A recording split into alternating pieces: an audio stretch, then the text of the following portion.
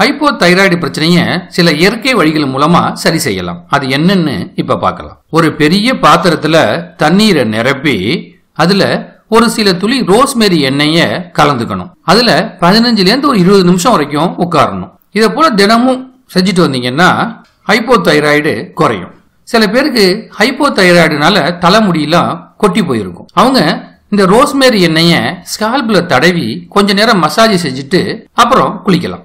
ஆயுர்வேத கடைகளில் அஸ்வகந்தா அப்படின்னு கேட்டீங்கன்னா கேப்சுலாவோ பவுடராவோ கொடுப்பாங்க. இதை ஒரு நாளைக்கு ரெண்டு முறை காலையிலையும் சாயங்காலமும் சாப்பிட்டுட்டு வாங்க. இந்த அஸ்வகந்தா தைராய்டு ஹார்மோன்களோட குறைபாட்டை சரி செய்யும். அது மட்டும் இல்லாம நோய் எதிர்ப்பு மண்டலத்தை வலிமைப்படுத்தி மன அழுத்தத்தை குறைக்கிறதுக்கும் இது உதவும். தினமும் ஒரு பத்துல இருந்து பன்னெண்டு மில்லிகிராம் அயோடின் சப்ளிமெண்ட்டுகளை எடுத்துக்கணும். இப்படி ஆறு மாசத்துலேருந்து ஒரு வருஷம் வரைக்கும் தொடர்ந்து சாப்பிட்டு வந்தீங்கன்னா அயோடின் குறைபாட்டால ஏற்பட்ட ஹைப்போ தைராய்டு பிரச்சனையிலேருந்து ரொம்ப எளிமையா விடுபட்டுடலாம். இருந்தாலும் இந்த மாத்திரையை சாப்பிட்றதுக்கு முன்னாடி மருத்துவரோட ஆலோசனை தேவை. நாட்டு மருந்து கடைகள்ல ஆலிவித பொடியை வாங்கிங்க அதுலேருந்து ஒரு டேபிள் ஸ்பூன் ஆலிவித பொடியை எடுத்து ஒரு டம்ளர் பால் இல்லைன்னா ஏதாவது பழ சாரோட கலந்து குடிக்கணும். இப்படி தினமும் ஒன்னுலேருந்து ரெண்டு முறை குடிச்சிட்டு வரணும். இதனால அந்த விதைகளில் இருக்கிற ஒமேகா த்ரீ கொழுப்பு அமிலங்கள் தைராய்டு ஹார்மோன்களோட உற்பத்தியை தூண்டுறதுக்கு உதவும்.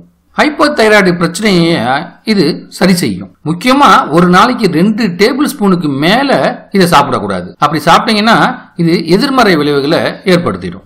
சில பேருக்கு தைராய்டு பிரச்சனையினால உடல் எடை அதிகரிக்க ஆரம்பிச்சிடும். அப்படிப்பட்டவங்க தினமும் ஒன்னுல இருந்து ரெண்டு டேபிள் ஸ்பூன் தேங்காய் எண்ணெய உணவுல சேர்த்துக்கணும். ஆனா தேங்காய் எண்ணெயை சூடேற்றக்கூடாது ஒரு பாத்திரத்துல ஒரு கப்பு தண்ணியை ஊத்தி நல்லா கொதி வந்தோடனே ஒரு இஞ்சி இஞ்சியை தட்டி போட்டு அஞ்சு பத்து நிமிஷம் திருப்பி கொதிக்க வச்சு இறக்கி வடிகட்டி வச்சுக்கணும். இந்த தண்ணி நல்லா குளுமையானதுக்கு அப்புறம் தேனை சேர்த்து கலந்து குடிக்கணும். இதனால இஞ்சியில உள்ள மருத்துவ குணங்கள் ஹைப்போ தைராய்டு பிரச்சனைக்கு ஒரு தீர்வளிக்கும் இதெல்லாம் செய்ய நேரம் இல்லைன்னா ஒரு துண்டு இஞ்சியை வாயில போட்டாவது மெல்லணும். சில பேருக்கு வைட்டமின் பி டுவெல் குறைபாட்டாலும் ஹைப்போதைராய்டு வரும். இவங்க இந்த வைட்டமின் அளவை உணவுகள் மூலமா அதிகரிக்க முடியும். அதுக்கு சிட்ரஸ் பழங்கள் அதிகமாக எடுத்துக்கணும். பச்சை இலை காய்கறிகளை அதிகமாக சாப்பிடணும். மீன் இறைச்சி முட்டை அப்புறம் பால் இதெல்லாம் உணவுல அதிகமாக சேர்த்துக்கணும்.